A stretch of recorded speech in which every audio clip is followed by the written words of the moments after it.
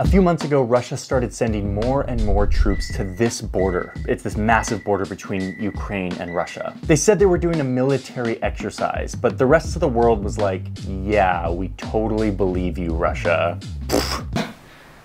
It's hard to watch this guy because of his style, you know? I mean, he makes he makes good maps. I, I have to I have to admit that I saw his video on making maps, but not politics.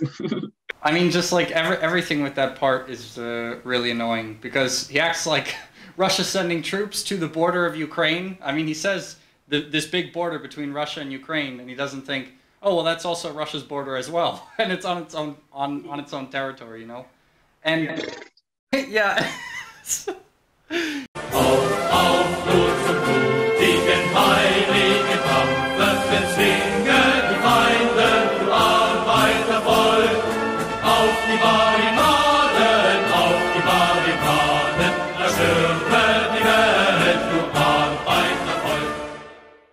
Hey comrades and welcome to the Revolution Report's first reaction video. Uh, I, at the beginning of making this channel, didn't really think I was going to be doing reaction videos, but I just saw this video come out by this guy, Johnny Harris, who has over 2 million subscribers, and I just, I, I couldn't not do a reaction to it. Uh, right here, it's not just me, but it's also uh, Nor, a member of the Revolution Report Politburo. I mean, this this guy, uh, his channel is first of all his presentation style is just like so cringe. It just like hurts for me to watch. And on top of that, I mean, if that was just if it, if it was just that, I'd be like, okay, you know, the, you know, there's no there's no reason to pick on this guy. But on top of that, he's doing this video about it's called the real reason Putin is preparing for war in Ukraine. And as someone who uh, is confident that they're an expert in this field, I can tell you that this uh, video is just complete and we, I mean, I watched the whole 22 minute video. Um, it would take too long to do an entire re reaction video to the entire 22 minutes, so we just picked basically the most ridiculous moments uh, to watch and uh, react here uh, for you with uh, Nor as well. Nor, do you want to say anything before we start? Let's, let's press the cringe button and let's go. All right, let's do it. Because of Russia's aggressive behavior coming in and setting up 100,000 troops on the border with Ukraine, the entire summit turned into a whole WTF Russia, what are you doing on the border of Ukraine meeting. Before the meeting, Putin comes out and says, listen, I have some demands for the West. And everyone's like, uh, okay, Russia, what are your demands? You know, we have like COVID 19 right now, and like that's like surging. So, like, we don't need your like bluster about what your demands are. And Putin's like, no, here's my list of demands. Putin's demands for the summit were this number one, that NATO, which is this big military alliance between US, Canada, and Europe, stop expanding, meaning they don't let any new members in. Okay? So, so Russia's like, no more new members to your like cool military club that I don't like. Your cool military club that I don't like. And what the what the hell? I mean, he's calling these demands. Uh, Russia called them proposals. Proposals for security guarantees. What is this demand? I'm, I'm, I'm surprised that he didn't he didn't use the Russian accent. Like, uh, look, here are my demands. Like, like and, and, like the cool military club you you calling cool is not so very cool to the people of Serbia and Libya. Right, it's a, an imperialist military alliance. He's acting like it's like a cool military club. I mean, this is just. I mean, from from the beginning of the video, it's set up to be anti-Russia. You know, it's set up it's set up to make NATO look like these like you know we're just minding our own business, you know, smoking cigars, drinking scotch at our cool military club, and Russia just has some sort of problem with us making demands. You know, we don't understand. Uh, Russia also has the COVID 19 cases that are surging right now. the West is not the only one that has COVID. Right. And there are other problems in the world right now other than COVID. like the possibility of nuclear war that this video is supposed to be addressing. You can't have any more members. Number two, that NATO withdraw all of their troops from anywhere in Eastern Europe. Basically, Putin is saying, I can veto any military cooperation or troops going between countries that have to do with Eastern Europe, the place that used to be the Soviet Union. Okay? And number three, Putin demands that America vow not to protect its allies in Eastern Europe with nuclear weapons. LOL, said all of the other countries. You're literally nuts, Vladimir Putin. I really, I hate this well, first of all, I don't even know, I mean, where to begin with these things. I mean, with this part of the video, to begin with his very strange presentation of this stuff, or the fact that it's not so ridiculous to say that, you know, a hostile military alliance should take all its troops out from right against its border, you know? yeah, I mean, the fact that he showed the, the map in the beginning, that's such a big map of the NATO alliance that, that, that, depicted the NATO alliance in the blue blue side. The, the size of that map should tell you how, how it has increased right at how it has gone right at Russia's borders after the Soviet yeah. Union collapsed. I mean, if that doesn't tell you who's moving forward, who's who's the aggressor here, I don't know what will. Yeah, I know. It's almost it's almost like uh, it was a satirically made map. You know, there's that you know there's that meme you can Google on the internet where it says why did Russia or China or Iran put their country so close to our military bases. It's like literally that. Basically, base, that map basically contradicts his own position. Yeah, it's ridiculous. These are the most ridiculous demands ever. But there he is, Putin, with these demands, these very, very aggressive demands. And he sort of is implying that if his demands aren't met, he's going to invade Ukraine. Okay, this part, where where is he implying that he's going to invade Ukraine? This is this is the weirdest thing. I don't understand where where like uh, he gets this idea that Putin is implying he's going to invade Ukraine. The Russian government uh, Vladimir Putin, the foreign minister Sergei Lavrov, all of they all they've said is that we're not going to invade Ukraine.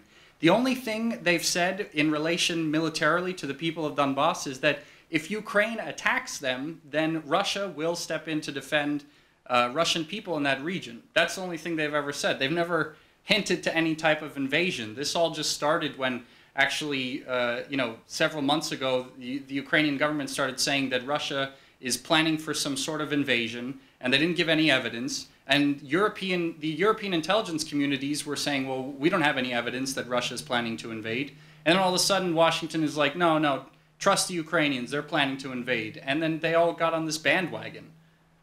Yeah, I mean, on, and the fact that the Russians are making this statement that they're going to protect, that, that, that they will take action only when the their citizens are in, in Donbass are attacked because there's so many Russian passport holders that live in that region. There's about 720,000 uh, Russian passport holders that live in that region. And if, if, if, if a force, if, if an outside force attacks Russian passport holders, I think it's justified that Russia takes some steps to protect its passport holders. Yeah, absolutely. And on top of that, you know, like you said, they're passport holders, and the people there, I mean, they don't speak Ukrainian. They actually speak Russian. I've been there a million times. The people in Donetsk and Lugansk, they speak Russian there. They have, they consider themselves Russian. They have Russian customs that are, you know, not the same as the people in uh, in Kiev. You know, actually the the only the only similarity they really have is that they have uh, the same accent when they speak Russian. They don't pronounce their G's properly. Well, okay, properly, but they don't pronounce their G's in the same way that Russians pronounce them in uh, in Moscow or uh, or any other Russian Federation city. That's the only difference. I mean, it doesn't work like this. This is not how international relations work. You don't just show up and say like, "You, I'm not going to allow other countries to join your alliance because it makes me feel uncomfortable." we need a reaction of this. You need to pause this. That's not even what happened. That's the funniest thing. I mean, Russia, Russia in mid-December sent proposals. They were called proposals. You can look them up on the internet. They're published on the Russian Foreign Ministry's website. Proposals for security guarantees, mutual security guarantees between Russia and the United States so that war doesn't happen. And Washington from the beginning is like, no, this is just, uh, this is something we can't do for you. Uh, the, the guaranteeing that NATO isn't going to expand farther east, even though this is something that was promised to Russia back in 1990, actually, but it was promised to the Soviet Union, and you know now American officials are saying, well, this is like an informal promise and everything. So you know we didn't really mean it back then when uh, we were trying to get on your good side when Mikhail Gorbachev, the traitor to socialism, was in power. You know now they're backtracking. the, the, the point he just made is the very reason why NATO was founded. He, yeah. the, the, the West feared that more the so-called Western Europe governments would would turn communist and would turn socialist, and a Soviet Union would attack them, then just like what they're saying, how they're saying now that Russia would attack Ukraine, this is why the West formed NATO to prevent more countries from turning socialist. Yeah, yeah. And it's important to note that, uh, NATO was formed for that reason because there was a real threat of Western European countries becoming socialist, not because the Soviet Union was trying to invade them or anything, but because actually there were popular uprisings, specifically in France, we can look at.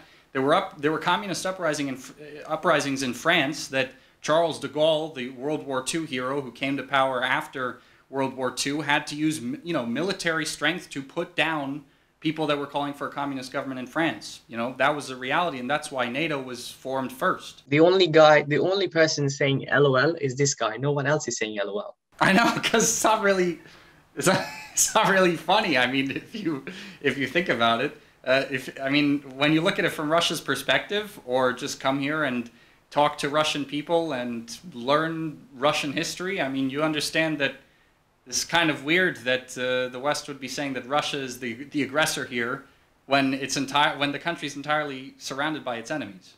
So it's after World War II. It's like the 50s, 60s, 70s, and NATO was formed. The okay, uh, first of all, NATO was not NATO was not formed in the 50s, 60s, or 70s. NATO NATO was formed in 1949. So first of all. I mean, obviously, this guy doesn't know uh, his history that well. Graphic editing, editing skills are, are definitely uh, very up there, but I mean, that seems like Wikipedia historian to me. this was a military alliance between all of these countries that was meant to sort of deter the Soviet Union from expanding and taking over the world. You just made that point. and I think I think another thing that's important to note is that NATO was, you know, it's called a military a military alliance, but it was never like a sort of defensive pact ever, or to begin with. You know, it was always a sort of you know a, aggressive military alliance. It was formed.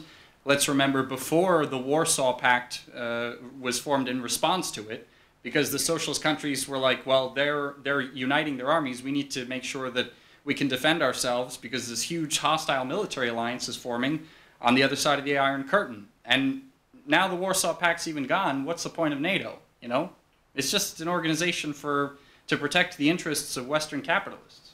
Amazing quote from 2005 where Putin is giving the State of the Union like address, where Putin declares the collapse of the Soviet Union, quote, the greatest catastrophe of the 20th century. And as for the Russian people, it became a genuine tragedy. Tens of millions of fellow citizens and countrymen found themselves beyond the fringes of Russian territory. Do you see how he frames this? The Soviet Union were all one people in his mind. And after it collapsed, all of these people who were a part of the motherland were now outside of the fringes or the boundaries of Russian territory. First off, fact check. Greatest catastrophe of the 20th century? Like, do you remember what else happened in the 20th century, Vladimir? I don't know. Maybe he understands or maybe he doesn't. But uh, the fall, the collapse of the USSR was absolutely horrific for people who lived in the USSR. I mean, we we've done uh, many many videos on it. You can watch our video on Perestroika. You can watch our uh, Soviet our interviews with people who lived in the USSR. The 1990s. I mean, there were gangsters running around killing people. You know, the the Western capitalists were selling all of the economy off for pennies on the dollar of their worth to the West. Um, I mean, there was like child sex trafficking. It was it was a crazy time. It was completely traumatic for the people uh, who lived there. So, I mean, at you know, I could see what the point he's making about like maybe there maybe there could have one of the other catastrophes of the of uh, the 20th century might be considered worse. But I mean, for Russians and you know, probably a, tons of people in other Soviet republics. I mean, the two greatest catastrophes are World War II and the collapse of the USSR. The and they both involve the Soviet Union. And they both involve the Soviet Union, yeah. The Soviet Union getting attacked by outside forces, basically. And another thing I want to talk about in this part is that he kind of tries to make this point where, uh, you know, in, in that document that Putin wrote, that, uh, you know, he expressed that he was upset about the fact that after the fall of the USSR, um, you know, tons of his countrymen were left stranded beyond the fringes of Russian territory. He kind, he kind of tries to make this point that because the Soviet people were considered one people when the Soviet Union still existed, then that means he just considers everyone who lived in the in the Soviet Union Russians, and that he's trying to like infringe on the on the national sovereignty of other nations. But that's not even what he's saying in that document. What he's you know this, he's talking about a problem that uh, was serious after the fall of the USSR. He's talking about the fact that you know when the USSR still existed, travel between the former Soviet republics was free. I mean there was like no basically border control between the different republics. So there were uh, Russians in Belarus and Ukraine and Lithuania and Latvia and Kazakhstan, and there were like people from uh, Uzbekistan in I don't know Latvia. You know, like all of the people from the Soviet republics were in other Soviet republics as well. And when the USSR collapsed and all of these places became independent states, they had to get their own uh, passports, their own statehood.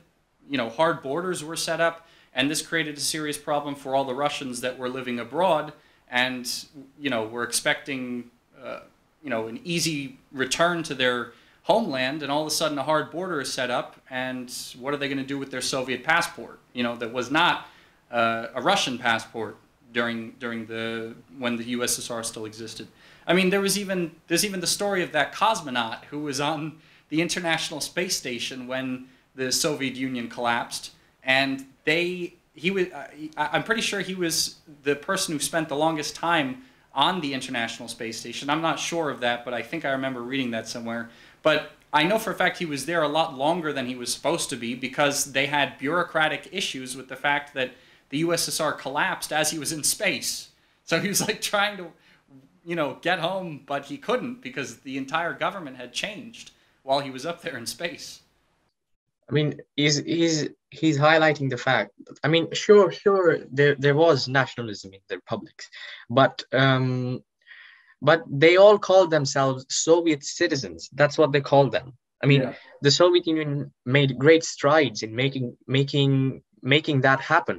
It, they they highlighted the importance of cultures, the Soviet culture, the common culture. I mean, if you if you talk about it um, in a sense that uh, everyone in the West says uh, that it was the Russians, Russians, Russians. Nobody really mentions other republics because it, it was, but in the Soviet Union, it was a collective Soviet republic.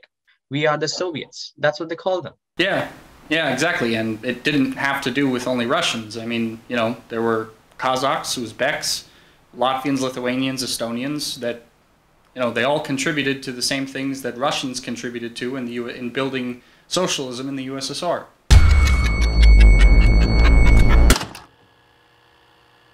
Putin's worry about the collapse of this one people starts to get way worse when the West, his enemy, starts showing up to his neighborhood to all these ex Soviet countries that are now independent. The West starts selling their ideology of democracy and capitalism and inviting them to join their military alliance called NATO. And guess what? These countries are totally buying it. They're just in inviting, how graciously inviting these Eastern European, now independent countries into their military lines.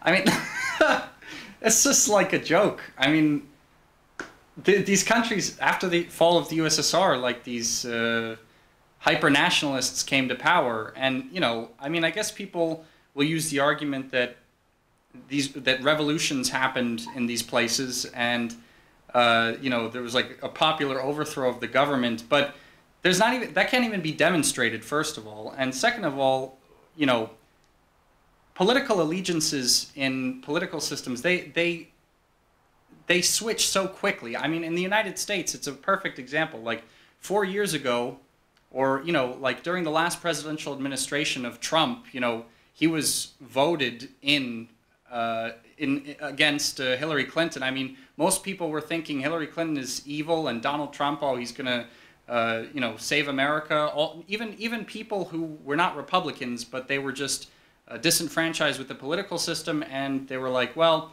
Donald Trump's uh, less bad than Hillary Clinton, so we're going to give him a chance. And now, four years later, uh, this, the script has changed, and you know they support Biden, and now they hate Biden again. You know, like these sort of parliamentary uh, fluctuations change so quickly. I mean, we should really be looking at the fact that there are two, basically two main forces in all of these Eastern European countries. There, whether they be communist, uh, liberal, whatever. There's people who basically fall into two camps. People who, you know, are pro EU, pro NATO, and people who are against that and anti-imperialist, and you know, feel that Russia has a point when it wants to defend its uh, national sovereignty. And by saying that these countries were just invited into this, you know, these new independent countries were just invited into this military alliance is kind of disingenuous. Uh, the people, the people who came to power in those Eastern European countries were nationalists. That's the whole reason they came to power through undemocratic means in the uh, in the, the former USSR. Of course, they're going to join NATO because the countries are run by governments that are hyper nationalist. I mean it has nothing to do with what people in those countries actually wanted. The, the amount of propaganda that was flowing in into these countries in, in the year 1989, I mean, the United States has had set up the the radio stations right outside the, the right at the border of these countries to specifically um, uh, get over the radio jamming that the that the Soviet Union was doing because they were basically flowing in propaganda.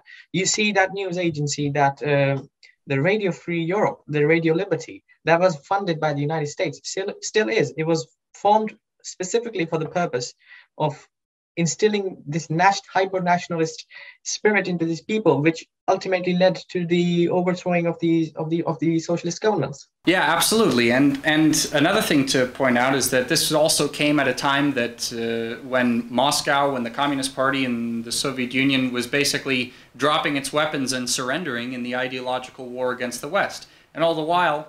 The West was just basically laughing. I mean, you had Gorbachev, who was it was really pathetic, you know, in power, thinking, why can't we all just get along? You know, we're not going to defend socialist governments when they're under threat in Eastern Europe. And you had on the other side Ronald Reagan and Margaret Thatcher, and they're just like, they're having they're having a party. Yeah, exactly. They were they were having a great time because Gorbachev was saying, yeah, we should have nuclear disarmament, and he's signing these uh, agreements that are basically stripping the Soviet Union of its nuclear rights and letting the West do whatever it wants with theirs. I remember uh, Molotov, the the foreign minister of the Soviet Union, Vyacheslav Molotov, um, he said that when Khrushchev came to power, the struggle for the struggle against imperialism became the struggle for peaceful existence. So you see how he quotes it there. He puts it perfectly, and it it increased under Gorbachev. They were not fighting against imperialism. They were they were just uh, doing everything they can for peaceful coexistence. They can; these two systems cannot exist together. They, they should exist together, but capitalists capitalists are not satisfied. They, they will not rest until socialism is destroyed. Yeah, I mean, yeah, you're, you're entirely right, Nor, because I mean, peaceful coexistence, this ideology, what we can see now in form, it was peace, it was, uh, you know, calling for peace between countries, but in content, it was a defeatist idea. I mean, what what what we can see now more than ever is that Washington is not interested in peace. They're interested in world domination, and they're not going to negotiate or stop to stop doing anything to uh, to achieve that to not to achieve that goal. They're gonna they're just gonna do whatever it takes to take control of Russia's markets, smash China, and keep its uh, monopoly uh, or hegemony of world world geopolitical power. That's the that's the problem. It's it's like a I mean, Washington has acted like a wild predator for decades already, and people who don't who still don't see that, I mean, they gotta get out from under the rock they're living. He's effectively silenced anyone who can challenge him. Any institution, any court, or any political rival have all been silenced.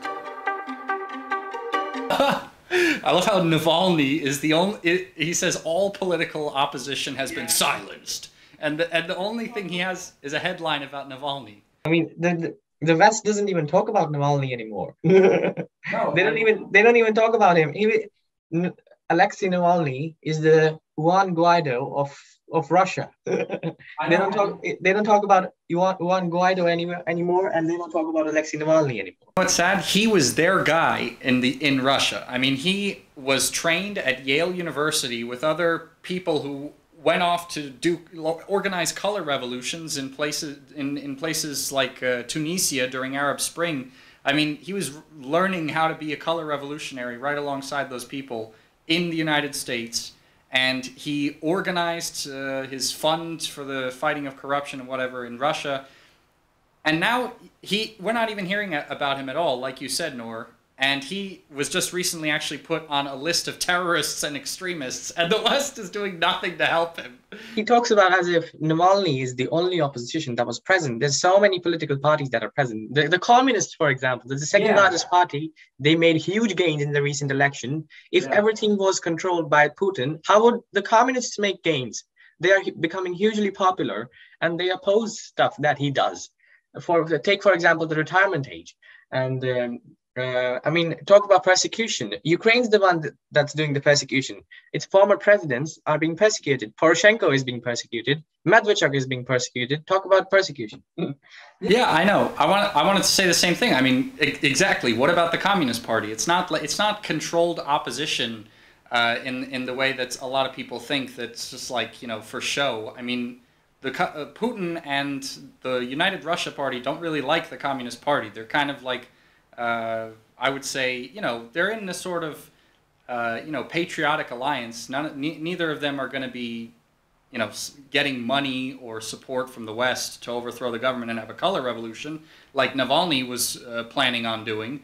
But, you know, communists have a different program than uh, Putin's government. You know, they want to restore communism. They want they want to uh, make a sort of socialism in the 21st century, and they're a serious opposition party, and they made they made the the biggest gains in the last parliamentary elections since the 1990s. I mean, this is just like this is a, a great example of like someone who probably spends a lot of time researching things and being on the internet, and I'm you know I'm sure he knows a lot about certain things. I mean, but this is like a baby analysis, like a baby, a Western baby analysis of what's going on in Russia right now and what its relation, uh, what its relationship is with the rest of the world. And I mean, the first thing you can see in this video that should tell you that is the fact that he's only using Western media.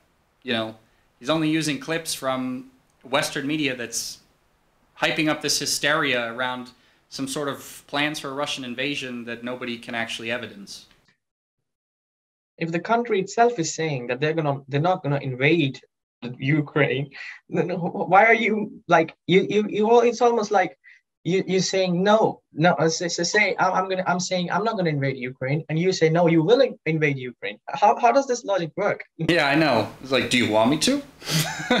it's been decades since the Soviet Union fell, but as Putin gains more power, he still sees the region through the lens of the old Cold War Soviet Slavic Empire view. He sees this region as one big block that has been torn apart by outside forces. I, I want to start with the fact that he thinks that Putin has a Cold War ideology because they're like, you know, like he's stuck in a Cold War ideology because it's actually the West that's like that. I mean, the West has set up, again, this dichotomy of Russia and itself. And, you know, there, uh, I mean, when I was in America, people thought that Putin was a communist. A lot of people didn't even know the Soviet Union still didn't exist anymore. You know, it's it's the United States is living in the Cold War mentality. I mean, Russia, the Russian government's line for the longest time has been let's uh, you, you know it's a capitalist government in Russia. They've been saying let's let's uh, work to let's work together with the West to try like to do business on equal terms. And the Western governments are just saying no, you know, you're our enemy, and we're gonna take you by force. So, Russia's government that calls people like Joe Biden, uh, Russia's Western partners, that's not a Cold War ideology. The Cold War ideology is saying that Russia's going to invade Ukraine without any evidence. And another thing is that, you know, he talks about, uh, he says that Putin believes that uh, the whole region is one big block that's being torn apart by Western forces as if it's some sort of uh, schizophrenic idea. When meanwhile, I mean, the place is being torn apart by Western forces, by outside forces. I mean, Ukraine didn't. I mean, Ukraine was basically uh, over. The government was overthrown in 2014 by a fascist-backed coup. You know, and that's that, that, that, that, that's how all these tensions began. Yeah, it was, and it was backed by the United States. Uni- United States military advisors have been there since 2014. Uh, the United States and the UK have been sending weapons to Ukraine far before this controversy about a, a Russian invasion started. I mean, this is this is the West. The West has caused this, not Russia.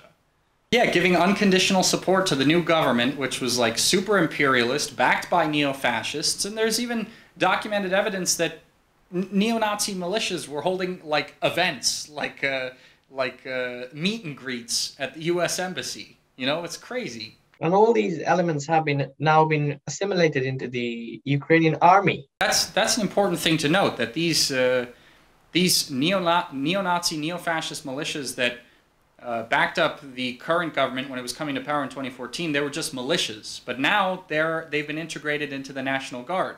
And Washington did something very interesting in 2018.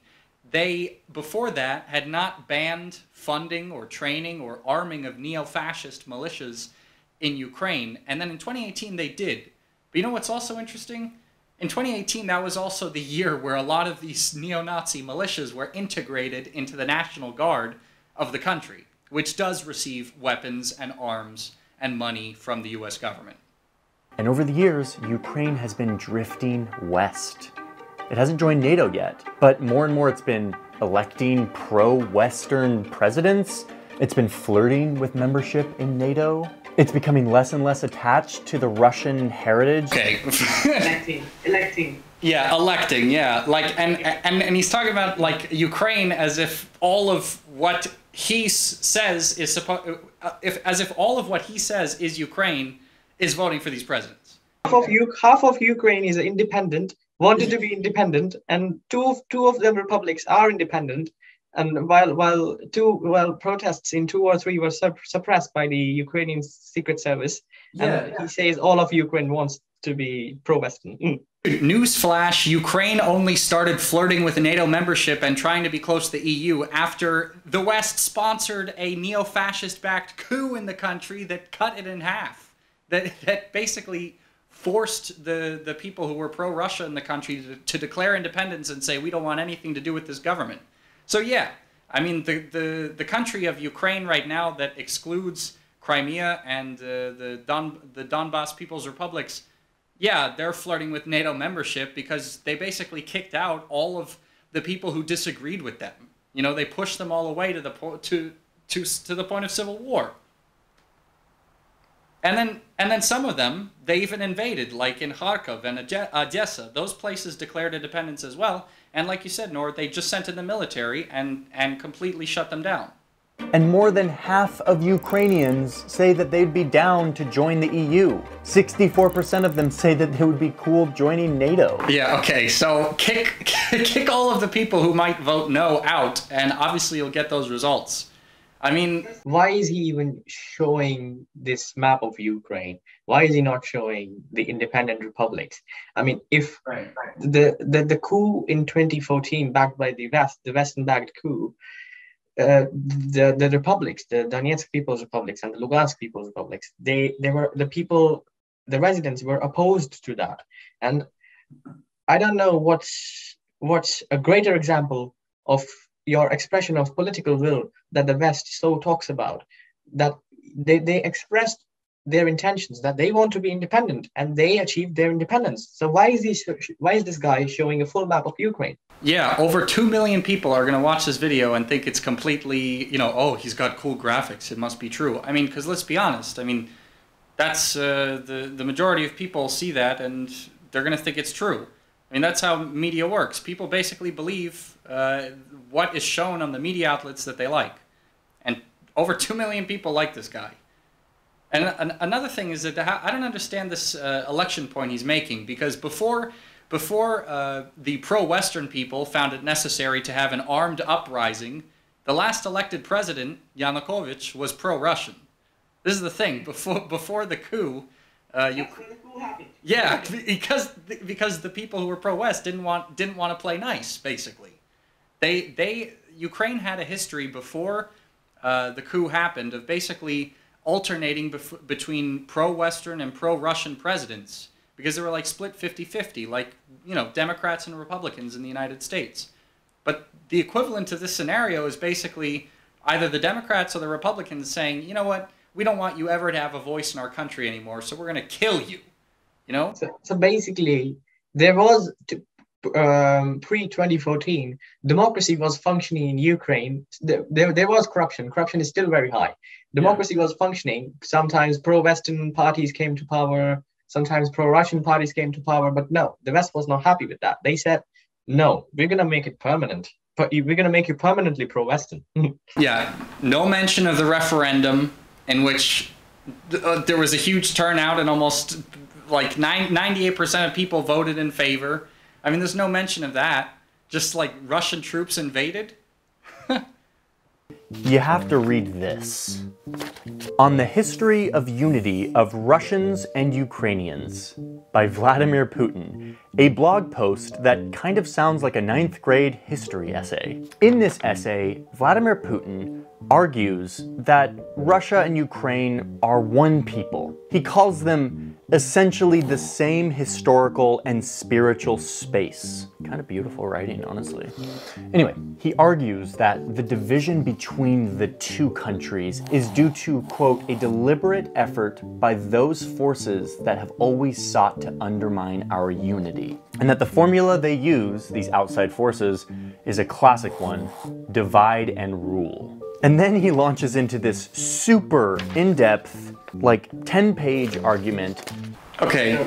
Uh, is, I don't understand what's wrong with that. He's saying he's he's basically praising the article and he's he's also calling it a ninth ninth uh, written by a ninth grader. I know. he's calling it, it was it was beautifully written, but he's also calling it it was written like by, by a silly nine year old. I know, and and basically everything he's explaining that Vladimir Putin wrote there and you know, I'm not like a, a Putin uh, like a Putin lover, like a Putin fan. I'm not, but everything Putin wrote there was pretty spot on. I have to say. I mean, the division between the two countries is due to an, a deliberate effort by forces that have always sought to undermine the unity of the Ukrainian and the Russian peoples. Who are these forces? The West and Ukrainian fascists. You know that that's that's as that's all there is to it, really.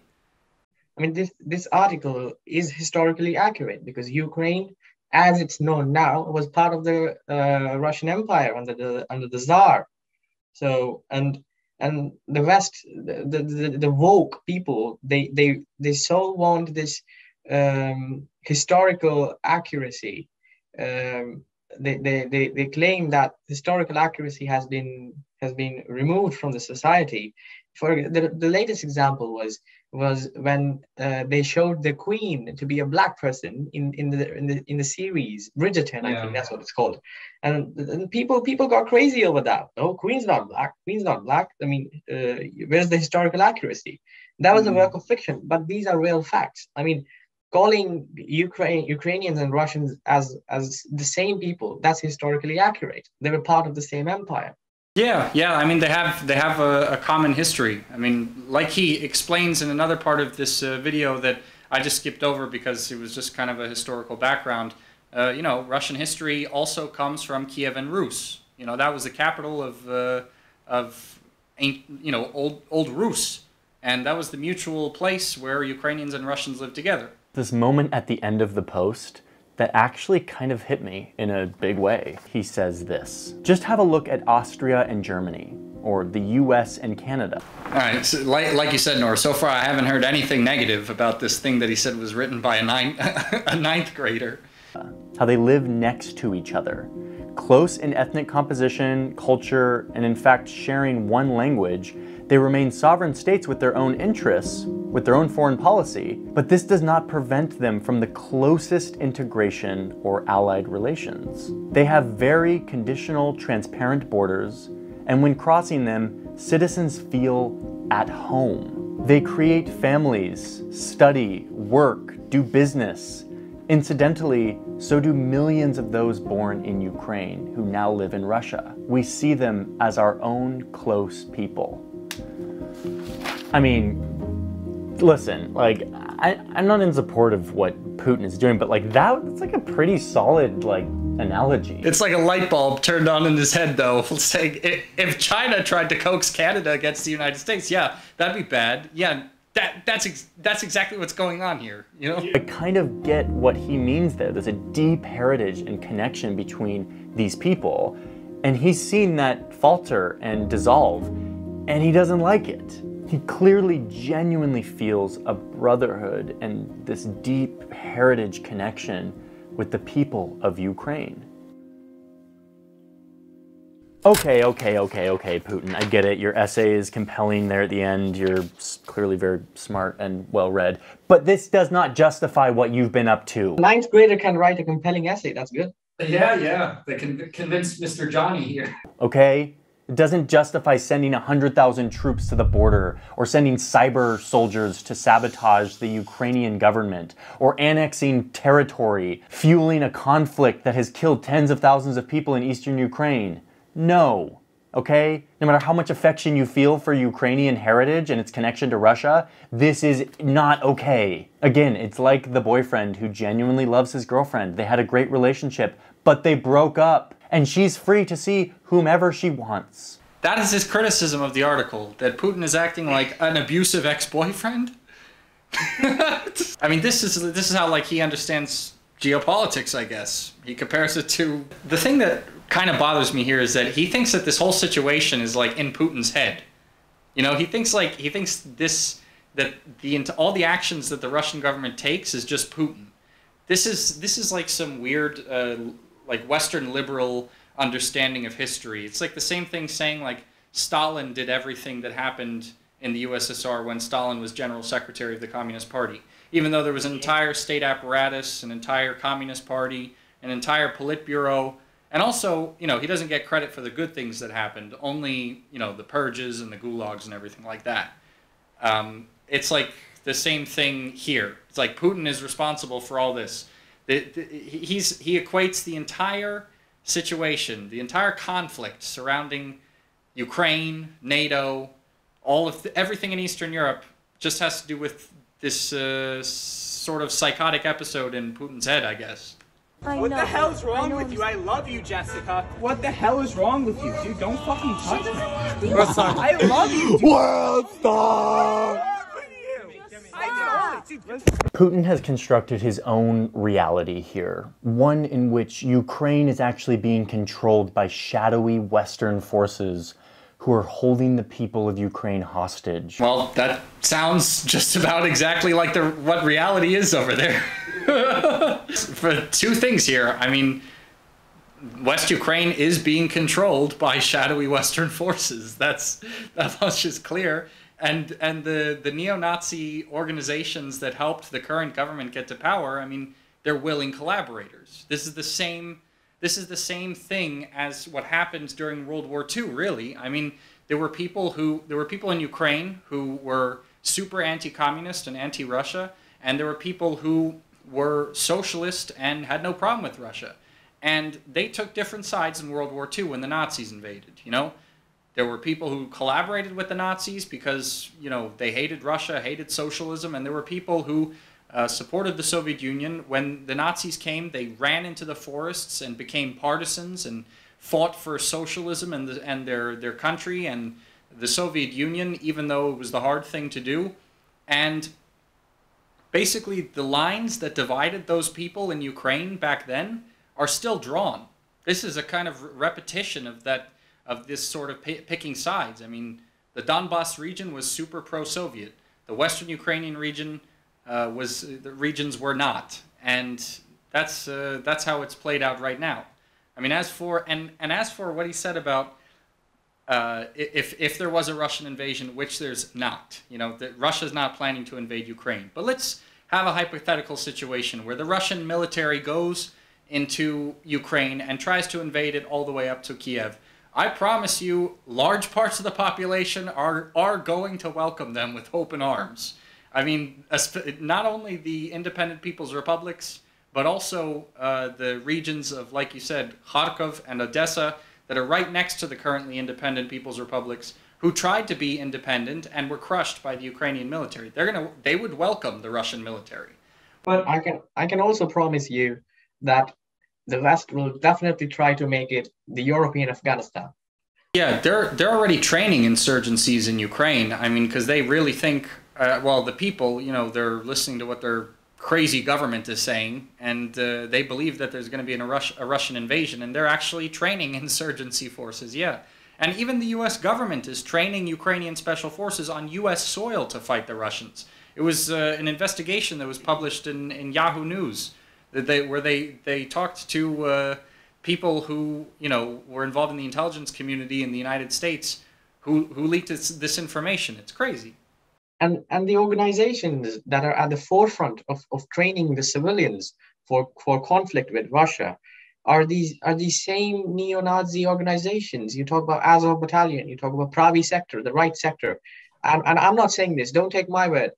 Go on YouTube, search the Associated Press channel. They did a story on this and they call them organizations. They didn't even they don't even call them uh, fascist or far right or neo-Nazi organizations. They just call them normal civilian organizations. Yeah, they com- they entirely play down the insane ideologies of these people who just happen to have a common interest in fighting Russia with the United States. Like you said, same thing that happened in Afghanistan. You know, the the, the U.S. government funded the Mujahideen, R- religious fundamentalists. You know, the the ones who, who are related to the ones who have now come to power in Afghanistan because of America's mistakes there. It's 2022. Putin is showing up to these meetings in Europe to tell them where he stands. He says, NATO, you cannot expand anymore. No new members, and you need to withdraw all your troops from Eastern Europe, my neighborhood. He knows these demands will never be accepted because they're ludicrous, but what he. They're not ludicrous. I mean, like we said at the beginning of the video, they were promised that NATO would not move an inch past the Oder River in Europe back in 1990. And another thing is that another thing I have to mention because I've been covering this at uh, at RT ever since these tensions uh, broke out months ago, and I have to say that this guy doesn't understand uh, what's been what what the latest developments are in in how diplomacy has been developing between Russia and the United States because he's framing this issue as if Russia's just being like you you're I'm saying you're not allowed to have any new people in your military alliance because I don't like it because it makes me feel uncomfortable. That's not that's not the diplomatically, you know, that's not what's actually happening here. The United States is actually violating the Istanbul and Astana declarations that are uh, that are declarations under the Organization for Security and Cooperation in Europe. You know, an organization that the United States is a part of, Russia's a part of, and European countries are, you know?